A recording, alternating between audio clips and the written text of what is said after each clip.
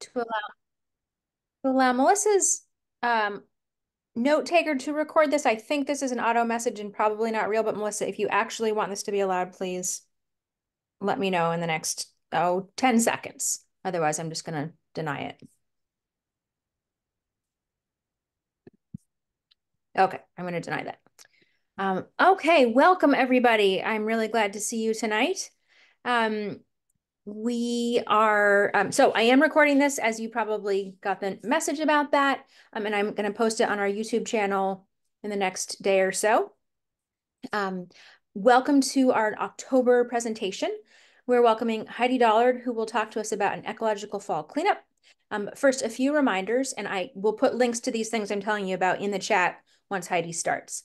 Um, but I don't want to take up any extra time because she has a lot of wonderful things to, to talk to us about. Um, the first reminder is our next brown bag lunch is Wednesday, November 5th, noon to 1. Um, they're the first Wednesdays of the month and they are drop in. Um, you can come with questions or come to listen or come to share projects. There's no there's no agenda. You just show up. We don't record them. They're really just ways to check in with other pollinator advocates and um, get support and give support.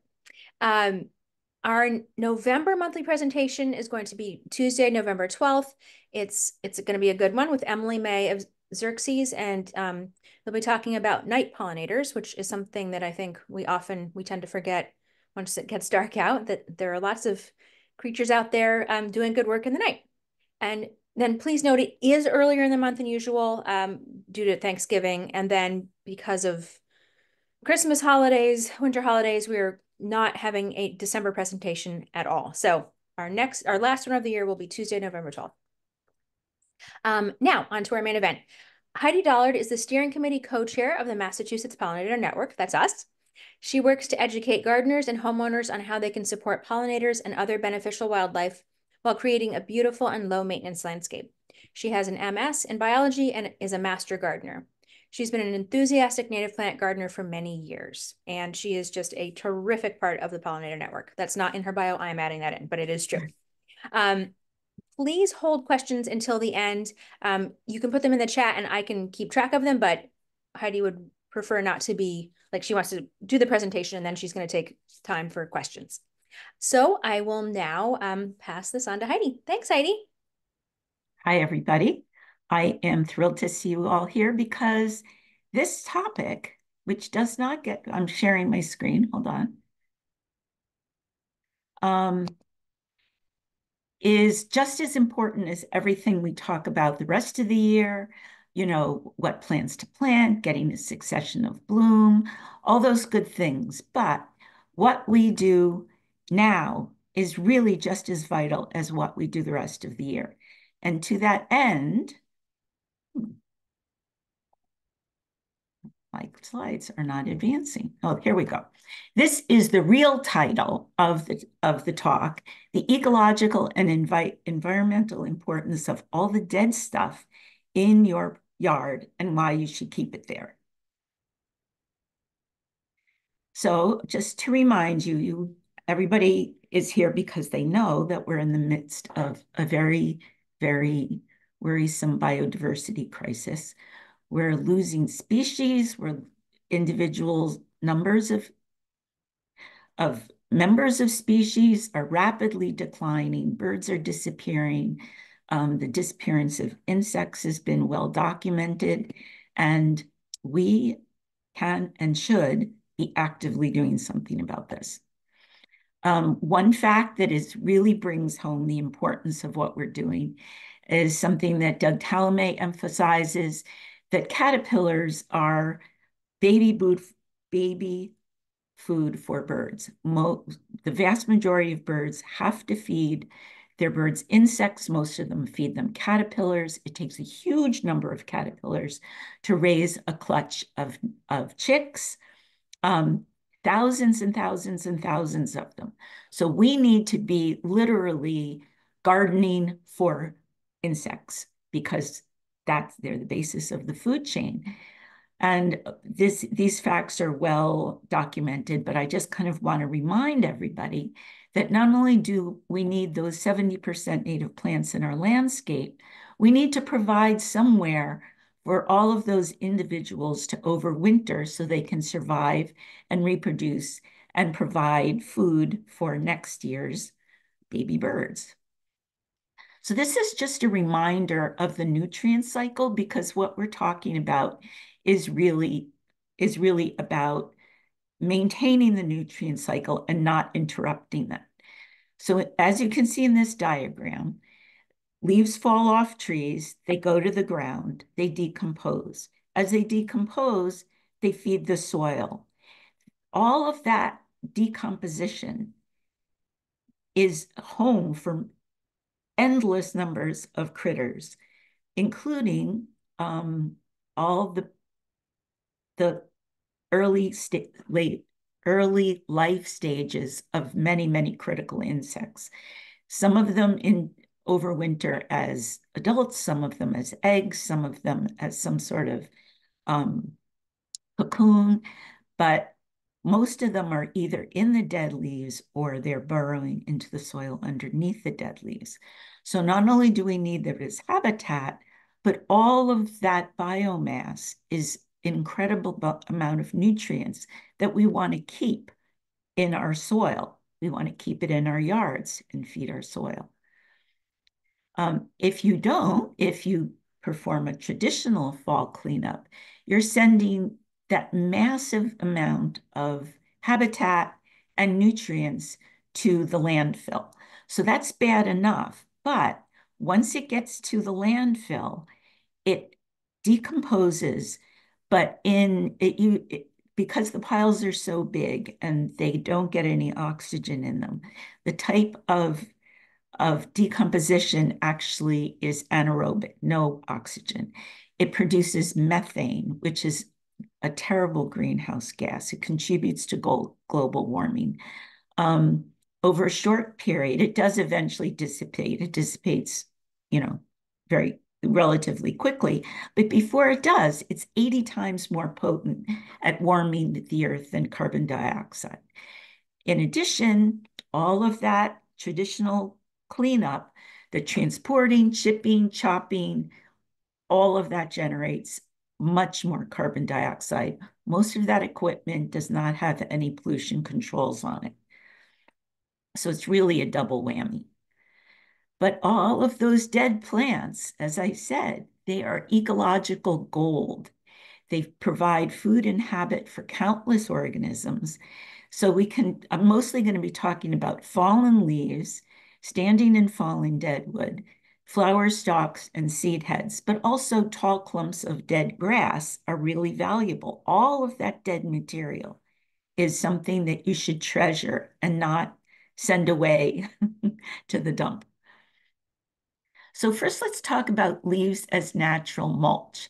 First and foremost, if you leave, if you just use leaves as mulch, it's less work for you and you save money. So many people I see this time of year, they're diligently blowing and raking the leaves out of their garden beds, and then they're going and they're buying bags and bags of bark mulch which is just nuts. It's crazy. It's a waste of money and it's a waste of really, really valuable plant material that also is habitat.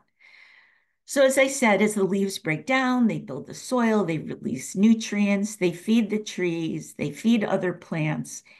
It's also really important for groundwater retention, which as you may be aware, as our storms get more and more severe, it's more and more important that as the rain falls, it's infiltrated quickly. It, if it hits a hard surface, whether it's asphalt or compacted lawn, it's going to run off. And that runoff is a huge problem. So if you can provide a softer, more absorbent surface, you're also reducing possibly flooding, and certainly um, spreading pollutants into groundwater. So it's really important to make sure nearly all ground is covered, especially over the winter, for all of these reasons. So you've heard the expression leave the leaves, and a really great way to do that is to build a garden bed around your trees. So as the leaves fall, they just stay where they landed and they provide mulch, they build the soil. It's a great environment for planting and um, it will also suppress, suppress weeds. Um, so as I said, many, many of those critters are overwintering in the leaves, in the rotted leaves. They, some of them are just clinging to the leaves. Them, some of them, after they fall to earth, then burrow into the soil. So if you're shipping all those leaves off to the dump, you're greatly reducing the populations of insects in your yard that you were very busy feeding with flowering plants, with native plants the rest of the year. So this is part of the full cycle of really supporting biodiversity. So in this picture, it shows, unfortunately, this is not a native plant, uh, native tree. It's, it's a non-native uh, magnolia, but it shows how there's a very um, plantable bed underneath what I, what I call the drip line. So the drip line is the edge of the farthest twig. You draw a straight line down, and most of the leaves will fall within the drip line. And if you can create garden beds in that space, that is a win-win-win for everybody. Your trees will thank you. In the left-hand picture, you see typical lawn. This is in public space. Um, the ground is very compacted, doesn't absorb water. Um, one reason why the ground is so compacted is that repeated mowing with heavy equipment, that heavy equipment compacts the soil. It, it forces it down and it becomes hard and like hard like asphalt eventually.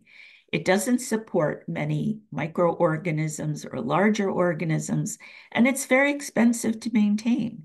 On the right-hand side, we have a more ecological, also a public space where there's um, understory plantings of native plants. It provides what we call a soft landing for insects. Um, the soil is rich, it absorbs water, and it's much, much lower maintenance. So I want to talk a bit about mulching.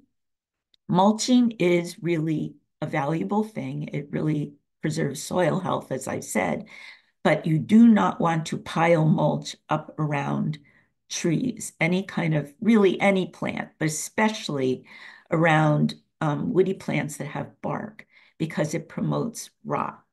It, it and it pre prevents a really deep mulch will prevent oxygen from getting to roots in the soil.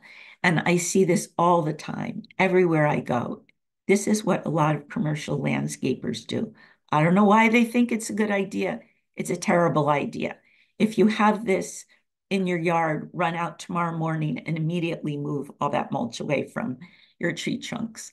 Um, it's also better not to chop or blow or mow the leaves, as I've said, all of those things chop up the organisms. Now, a lot of organic um, gardening instructions will recommend chopping up leaves and then putting them in your garden. And I have to admit, I before I knew that there was all these good critters in the leaves, I love chopped up leaves and I I actually hired people to come and chop up my leaves and then I used them on my garden beds. I I I don't do that anymore. I try to preserve as many of my leaves whole and let them leave, stay where they fell.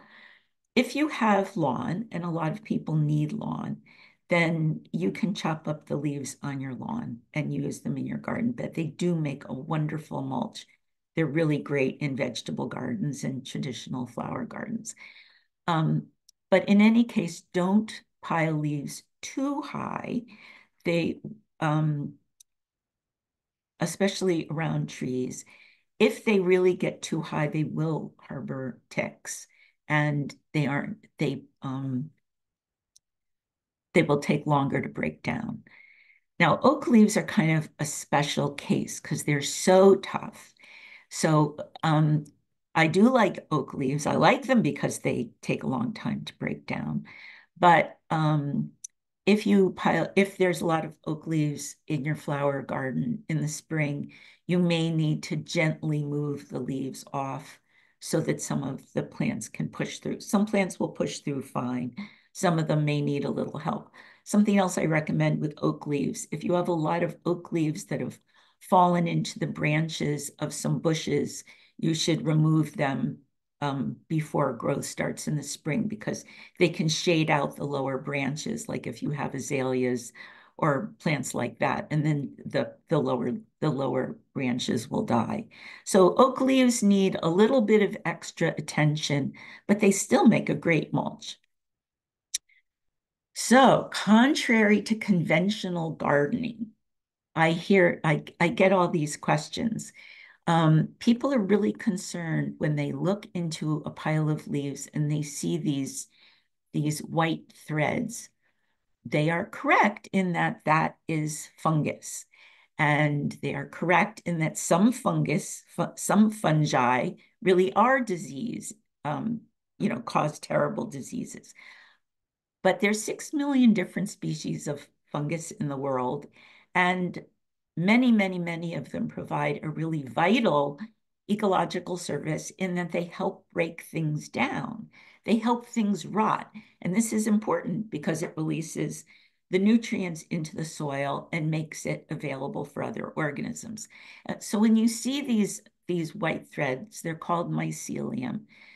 Don't worry, they're not going to infect your plants. A lot of people are worried about that. Don't worry about these. These are specialized fungi, fungi and their, their job is to just break things down. It's not a disease organization organism. And leaves and pine needles do not make the soil more acidic. Our soil, our natural soils in New England are already, most of them, not all of them, are naturally on the acidic side. And that's that's the nature of our soil, which coincidentally is what a lot of our native plants want. So um, you don't you don't need to worry about that. You do need to worry about the pH in your vegetable garden. And so I do recommend taking regular soil tests in your vegetable garden because getting the right pH can make a really huge difference in the productivity and health of your plants. But in a natural environment, most trees and bushes, I mean, in with native trees and bushes and um, grasses and herbaceous plants, that it, this will not make the soil too acidic for them. Um, shallow leaf mulch does not increase tick populations, and I'll talk a little bit more about tick populations. If you really pile up the leaves very deep, like up to your knees, which I do see a lot of people doing who live on the edge of the woods just year after year. Actually, I was one of these people. I just, you know, piled the, the leaves in the woods and we had this giant berm of leaves that will increase tick populations. So that's another reason to just leave the leaves where they fall. They make a shallow mulch that unless you have oak leaves, they will be broken down by the following spring. It'll be a very, very shallow mulch. And leaf and mulch and brush piles don't attract pest insects to your vegetable garden. I, I read this all the time. Oh, you know, keep brush, keep this away from your vegetable garden. Actually, if you have a very healthy insect population with the, a mix of predators and prey species, they're more likely to keep your pest insects in check if you provide habitat for those predators. So again, don't worry about that.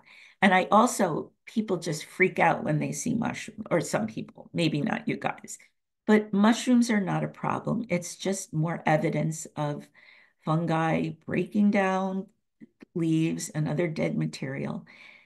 They're not, they're only a problem if you eat them, so don't eat them. On to trees.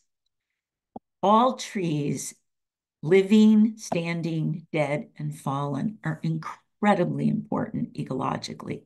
And I am very concerned. So many people are very, very eager to cut down trees. They're worried that they'll fall on them, fall on their house, fall on their car. They're leaning. and uh, unfortunately, a lot of arborists, professional arborists, really encourage this kind of fear of trees.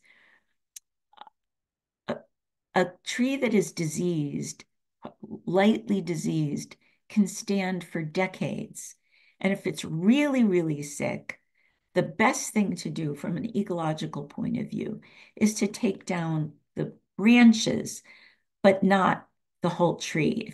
Leave as much of the tree standing as possible. So a standing trunk without the, the branches on it probably will never fall. It will just kind of gently rot. It will just kind of melt slowly. and as it does, it's providing incredibly valuable habitat to possibly billions of creatures, billions of insects and microorganisms, which are a really essential part of the food chain. You don't see a pileated woodpecker except in woods where there's dead trees because that's what they need. They need dead trees for the insects and for the holes that they then live in. So um, please refrain from cutting trees as much as possible, even if they seem to have a wound or a hole or even some kind of visible disease. Just let them go gently and slowly into the night. And please, if at all possible, don't cut down a healthy living tree.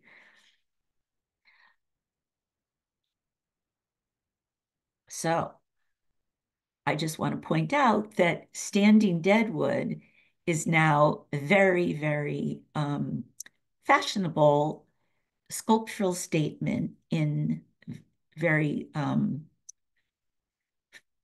famous and upscale gardens. On the left is a picture that I took at, on a um, garden tour in Newburyport.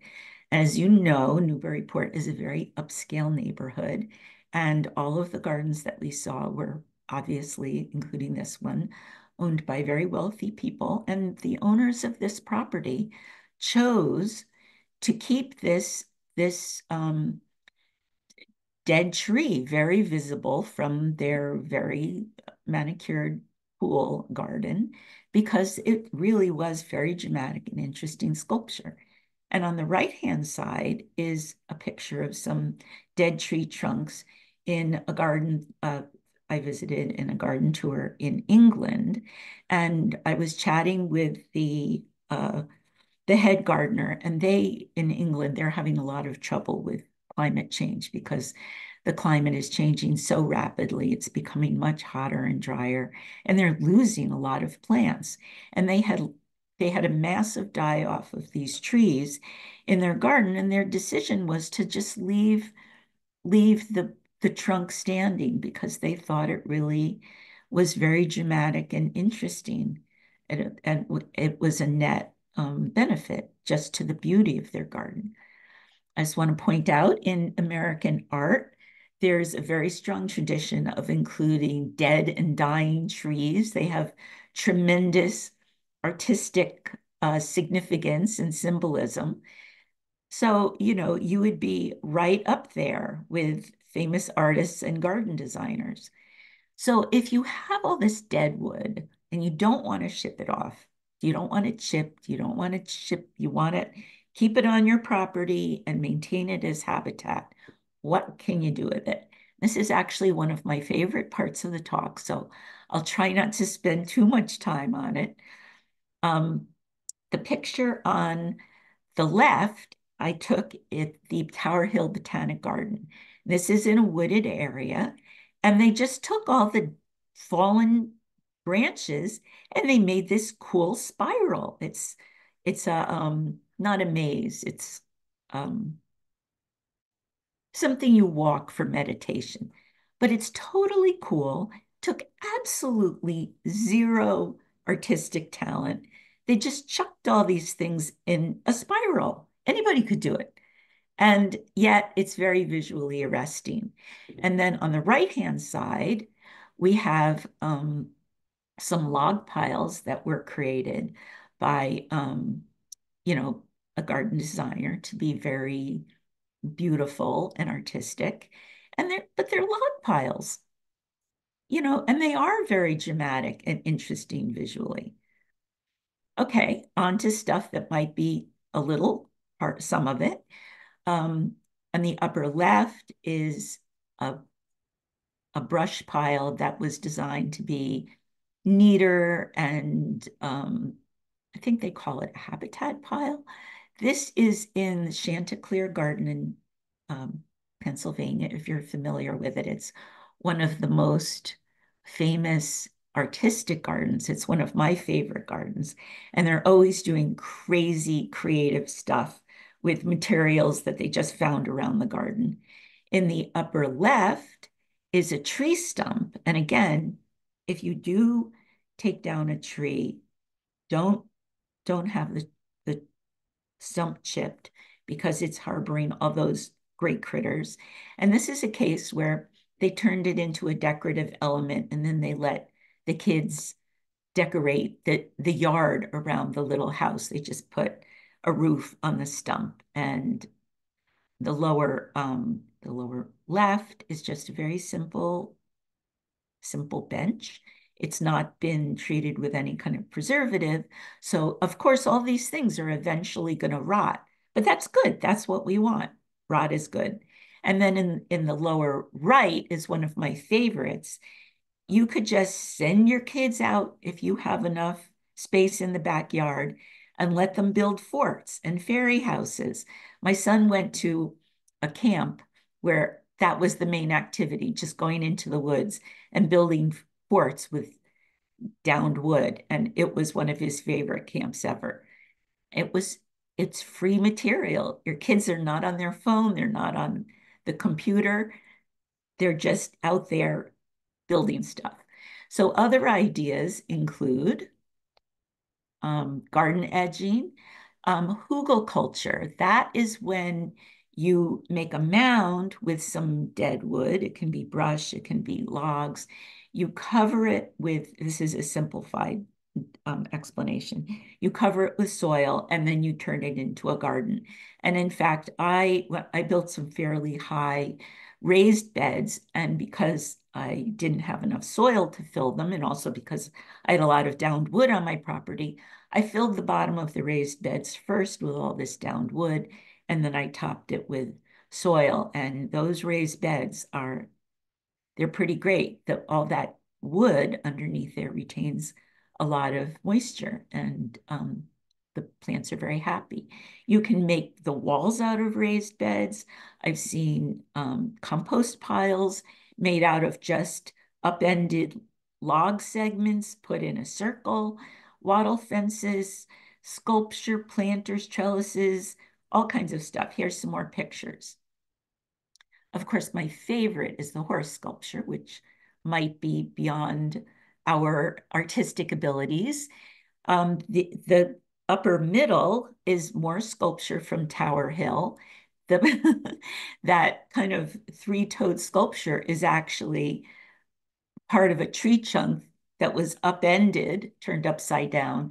And the owls, okay, we can't probably build those owls, but using those those cut off dead tree stumps as a plinth for sculpture is a really cool idea. And then, of course, you know, stakes. The middle picture, the middle lower picture, is using just cut off sections of some thin saplings. They were sharpened on one end to make a, a nice garden edging. And then there's just simply laying, you know, laying stuff on the ground to use as an edging. And it will rot, but that's good. We want it to rot. Flower heads and stalks are really, really important to leave. The birds love them. I love seeing the birds flitting amongst the dead flower stalks, picking off the seeds. Um, one reason why the stalks are really important that many native bees reproduce in and overwinter in stalks. They they um, make a sort of they lay there. Well, I have a I have a slide I will show you. The stalks with more than a quarter inch hollow or pithy centers are most valuable, and the dead flower heads are another really great source of winter interest. So here's um, a diagram of showing, this is from Heather, I think it's from Heather Holm, um, how to create habitat for stem nesting bees. So I will, I, I won't go into detail about this, but ideally you leave a good deal of the, of the stalk standing. The bees lay their eggs and provision them with balls of pollen. In summer, you can't see it because the, the flower, the new growth is hiding it. Then in the winter, they're in there, overwintering, hibernating. And in the spring, you can, again, you start the, the um, cycle all over again. And the bees that were in last year's dead stalks are now mature and are flying away. So again, dead flower heads have tremendous visual in, in interest. On the left-hand side is a picture from a Piet Oudolf garden. Um, if you're not familiar with Piet Oudolf, he's probably the most famous and celebrated garden designer in the world today. And one of his principles for when he chooses which plants to use in his compositions, what he decides whether or not they're garden worthy, is what they look like when they're dead, because he thinks that that's a very important visual element. And you can see this in this professional photograph, which I took from his website. And but on the right is, is just from my backyard. And it shows how wonderful those black, black seed heads can look in the fall and winter landscape. More pictures, again, Piet Oudolf um, on the left, Heidi on the right. So what, okay, now you're not raking, you're not cutting. What are you going to do with all your time? You, is there nothing to do? No, there is still a lot to do. So it is really important to weed, weed, weed. Um, any perennial weeds that you've left in your garden that you don't want are going to be just going gangbusters by spring. There's a lot of weeds that actually germinate in the fall and then they take off in the spring. So don't put off weeding. And then more important perhaps than anything else is removing invasive plants from your property. And now is an especially good time for removing invasives because, well, for two reasons. One, many, many invasive plants retain their foliage longer than native plants. So they're very visible in the landscape. And I have three examples of that. In um, the top left picture is bittersweet. And you can see the vegetation around it is pretty much died off, but those bittersweet leaves are still bright green. Some of them are yellow now, but it's much easier to spot them. Um, over on the upper right, the multiflora rose, it both retains its green leaves, but even when it loses its leaves, you can see the green stalks really, really clearly. So they're much easier to find. And then the bottom is um, buckthorn. It turns, it's it's also usually retains its, um, oh, wait a minute, that's not buckthorn. that is uh, the winged euonymus, which is another terrible, terrible invasive. And it turns that kind of pink color in the shade. It's bright, bright um, so this is burning bush. It turns bright, bright red in the sun, but in a shady wooded situation, it's kind of like a washed out pink. Very, very easy to spot. Perfect time to pull it out and eradicate it.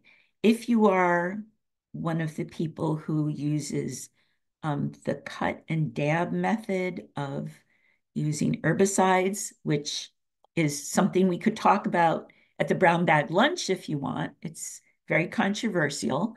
Um, but it's something I do because I have so many invasives in my yard. In fact, these three pictures were taken from my backyard just the other day.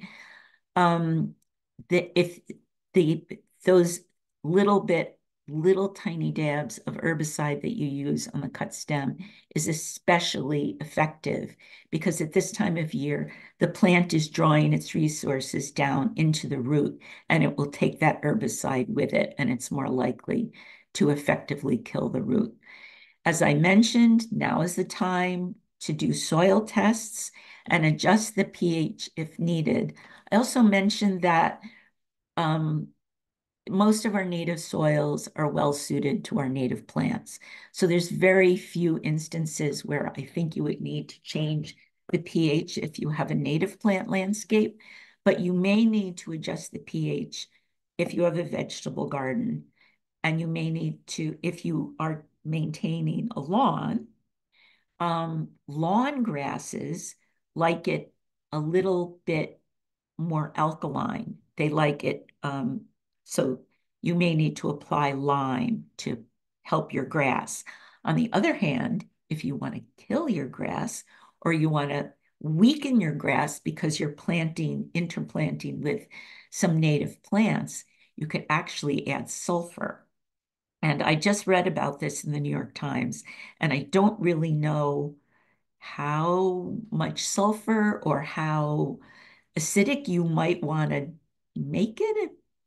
So it's something to investigate. It's not something I can really advise you on, but it's a very interesting concept.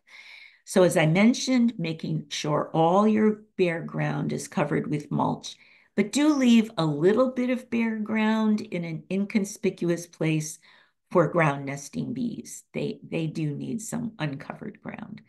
That now is a really good time to start new garden beds under those leaves with cardboard. If you lay down the cardboard, pin it down securely, and then a whole bunch of leaves fall on top of it, you have instant garden bed, not instant, but easy garden bed that will be ready to plant in the spring.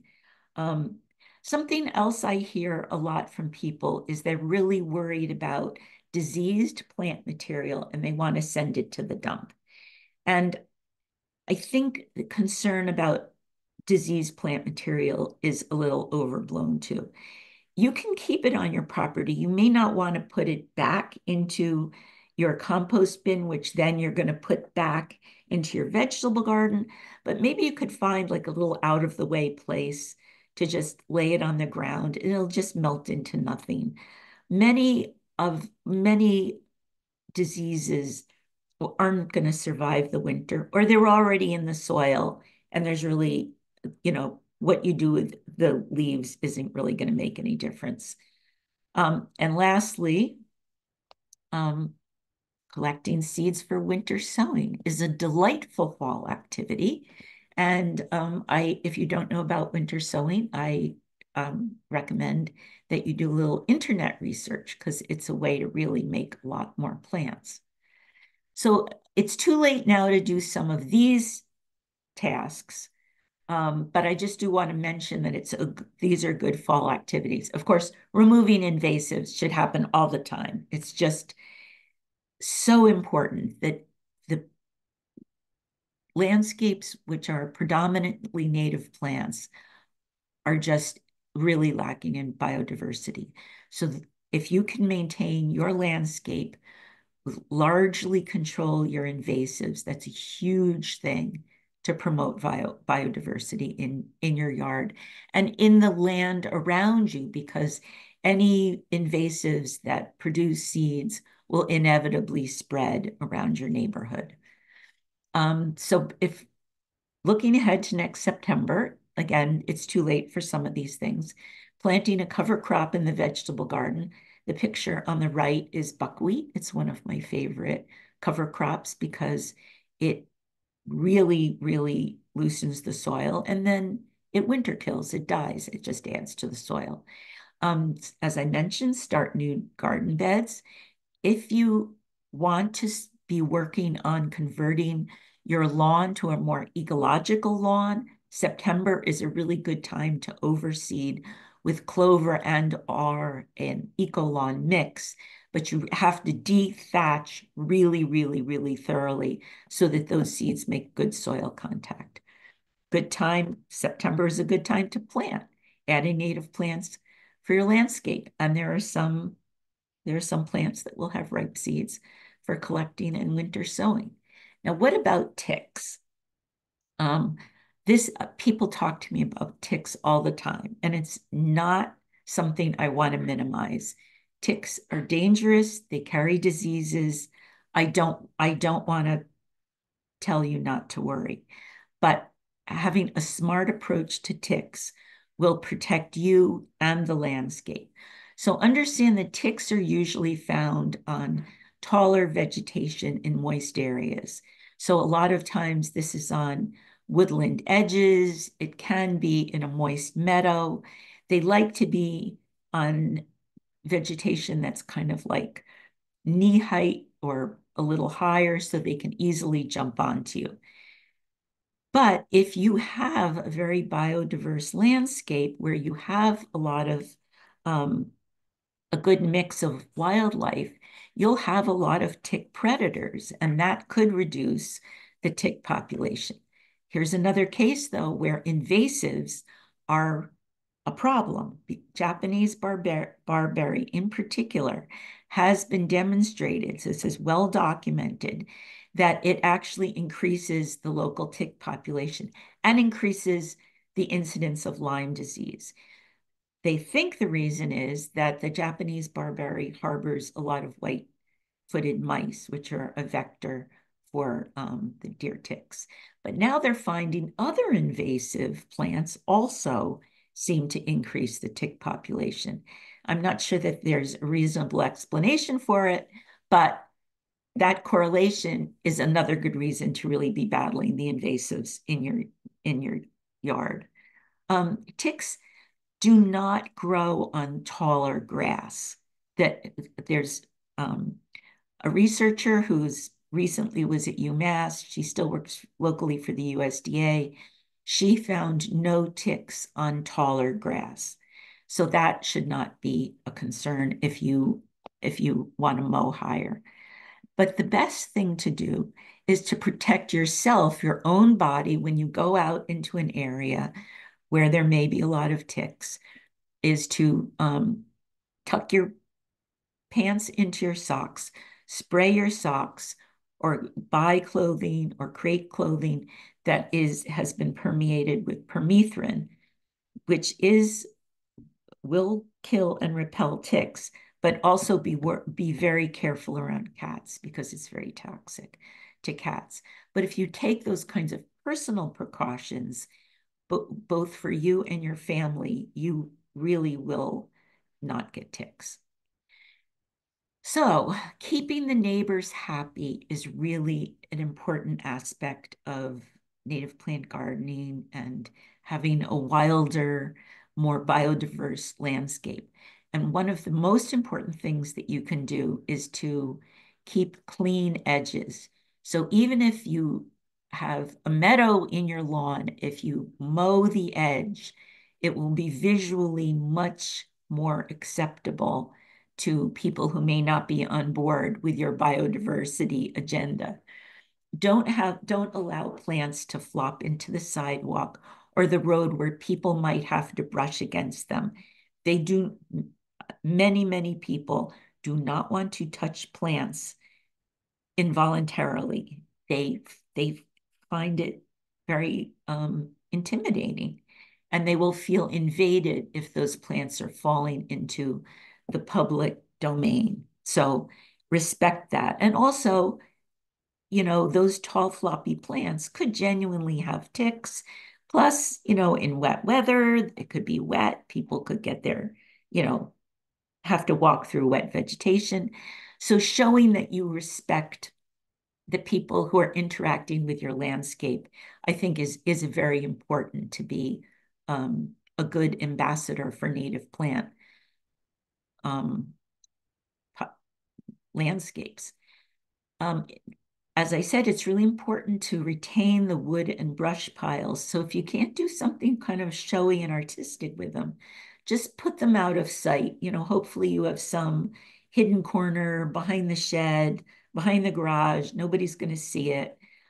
Um, something else that's a good practice is if you feel that your flower stalks are really, really unwieldy and unattractive. Cut them down toward the front of the border. Try to leave them as tall as you as you can. But this is, uh, I've read that this is called giving the garden a mullet, you know, similar to a haircut. So cut it down in the front, but leave it wild and, and long in the back. And signs can really help um, demonstrate to people what you're doing and maybe engender a conversation.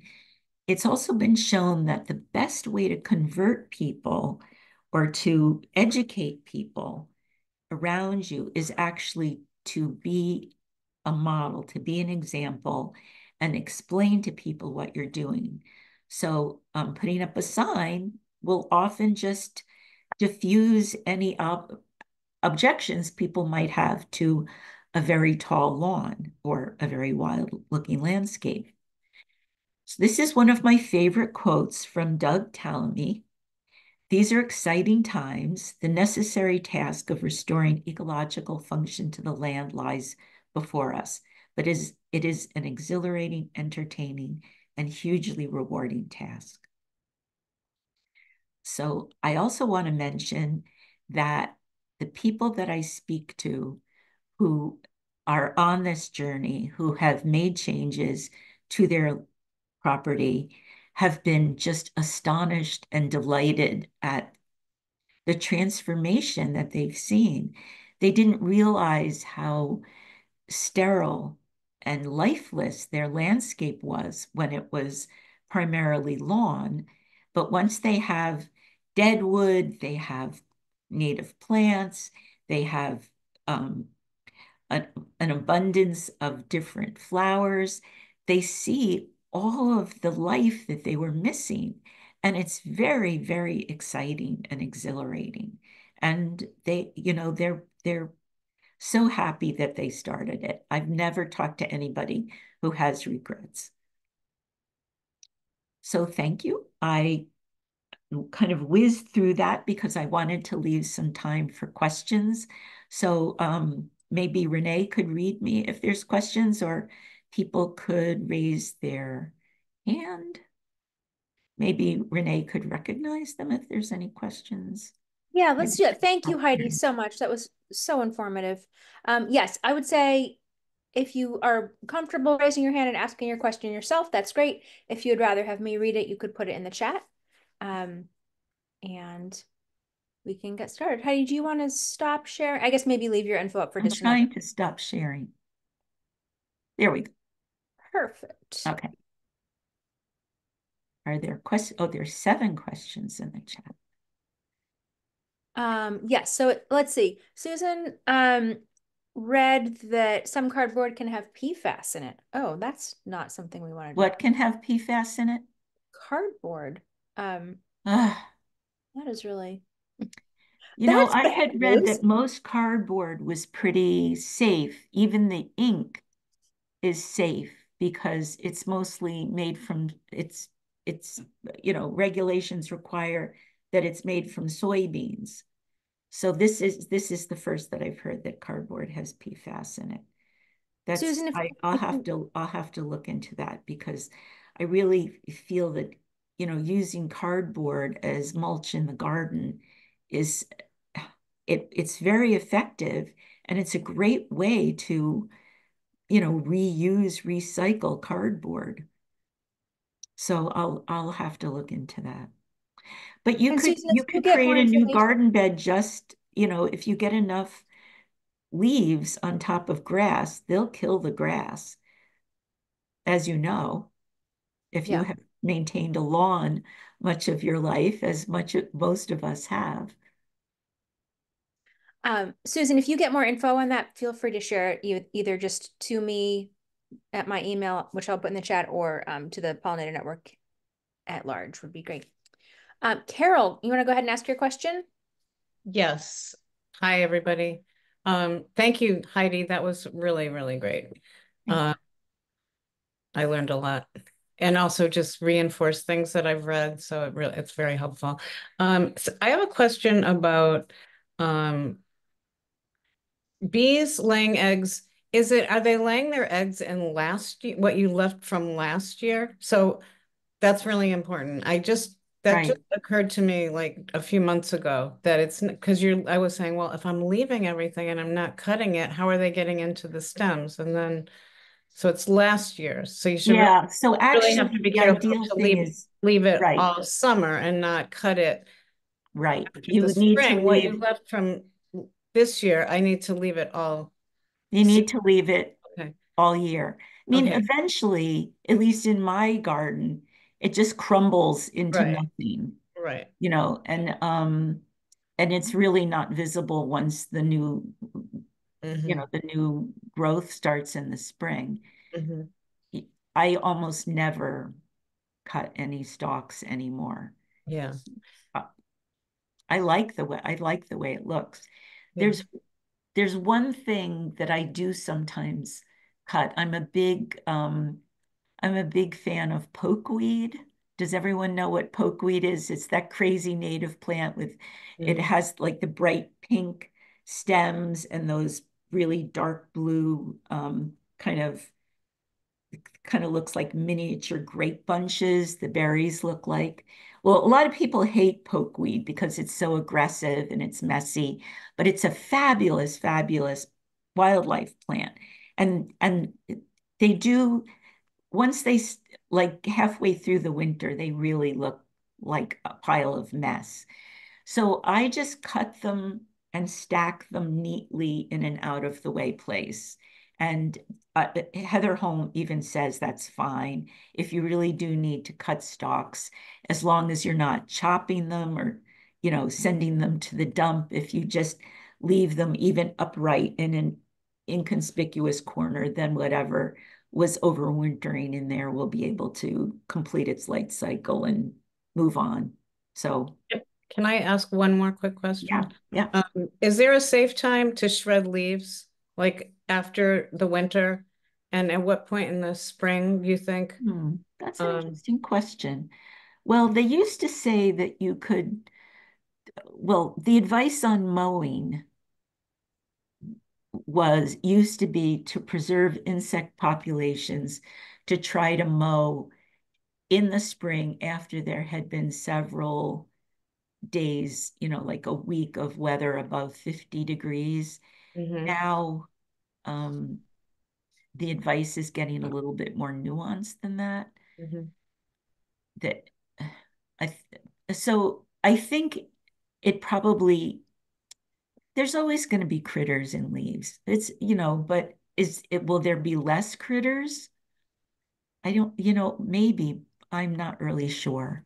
But based on what they used to say about mowing, yeah, probably after. But also, I want to reassure people, you do not need to save every leaf intact in your yard. You you will have to mow some leaves if you if you have grass. Um, but that's okay. The main thing is that you're providing some habitat.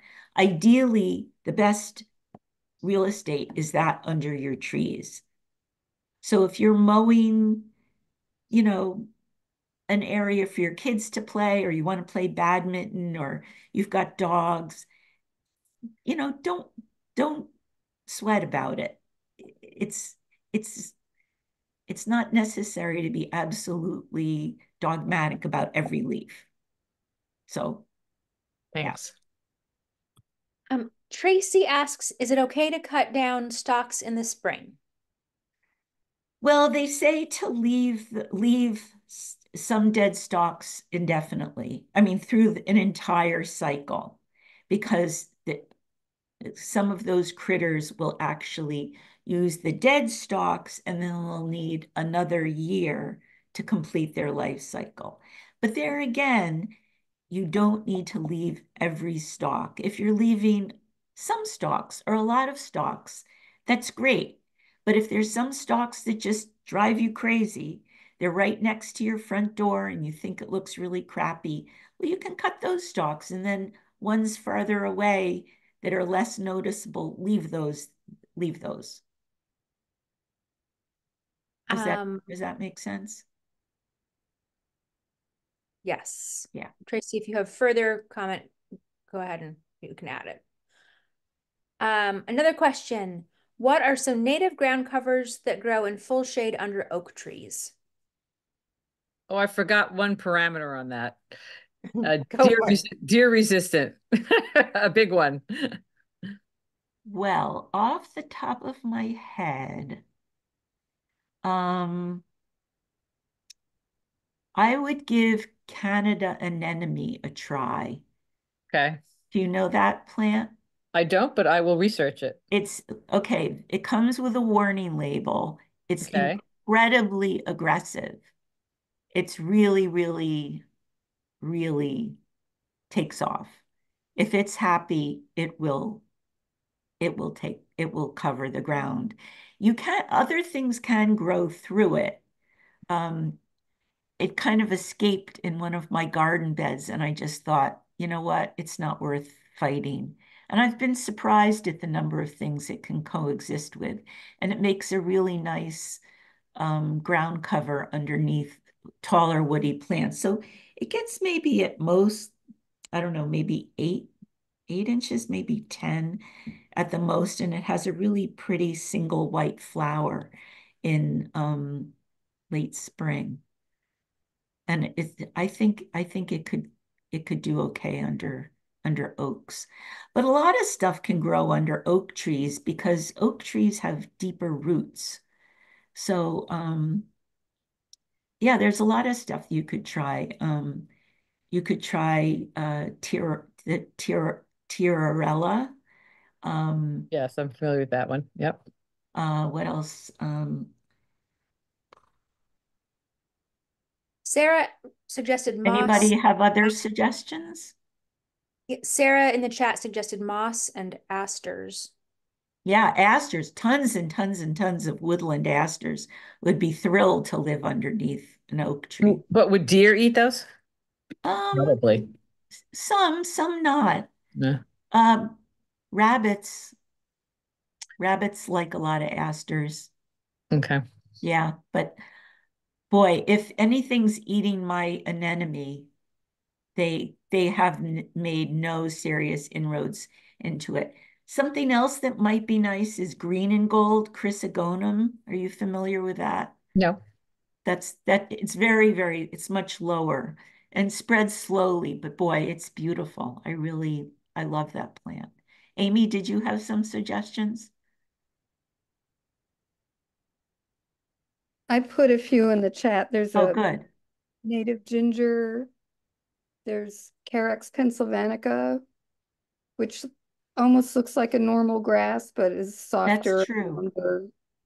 Um, there's a late blooming aster, which is, it's called aromatic aster, so it's a little bit scented. Oh, I just I just got one of those actually. That's funny. I just need I about eight thousand more. The latest blooming ones, and because it has a scent, it's a little bit more deer resistant. It Um, said it needed pars- partial sun though, but we'll see. I have a half acre that the deer have denuded and I I have a choice. I can try just putting ferns back there or I can fence it. I was, you know, I don't I'm at a loss with it because our concentration is getting worse and worse. You know, Uh, um, calico aster is something I see a lot, and whitewood aster. There's about maybe five, seven different aster species that just love to be in the woods, and they are late blooming. But if you get enough of them, they really make a, a very um, beautiful show in the fall. Okay. I'll give them a try. So the last question I see, um, and if I have missed one, please um, pipe up, is I have, this is from Ralph. I have a fairly large field, approximately four acres, that I've been mowing half of on alternate years. What do you think of that approach? Um, I- I think the latest advice that I have read on mowing is to actually mow every three years. But mowing every two years might be fine. A lot might depend on how much woody growth you have in the meadow. If you have a lot of see, you know, woody seedlings coming up, coming up and heaven forbid bittersweet and it might be the best thing. I, you know, I'm, the more I read, the more I realize that mowing is uh, uh, getting the best mowing regime for a particular situation is it's a little tricky. There's no like one size fits all.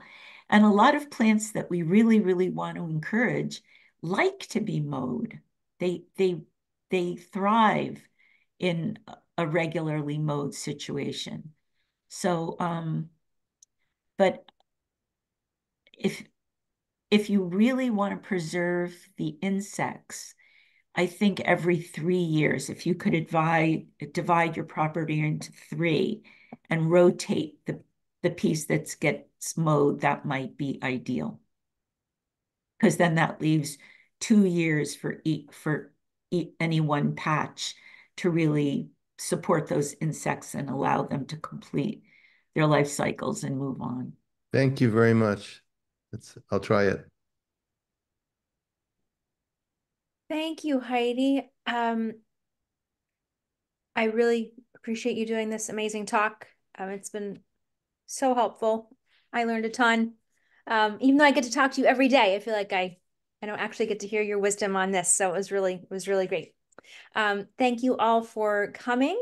Um, I hope to see you at our next brown bag lunch on um, let's see, on November 5th. I put that in the chat. And then our again, our next presentation is November 12th, which is a couple weeks earlier than usual. So do mark your calendars for that. Um, and the registration links for both of those events are also in the chat. And then I will be sending this recording out to anyone who registered for the for to attend the meeting. Um, and that will also be on our YouTube channel, as are all of our previous ones. Our brown bag is on November 6th, and November 5th is election day. You're totally right. Thank you. Thank you very much. It is Wednesday, November 6th. Thank you, Vivian. um, so ignore what I wrote and listen to Vivian instead. And I will send out reminders for those as well before. But um, thank you all. And it was lovely to see everybody and have a great night. Great. Thank great you all for coming. Thank you. Thank you. Bye. Bye.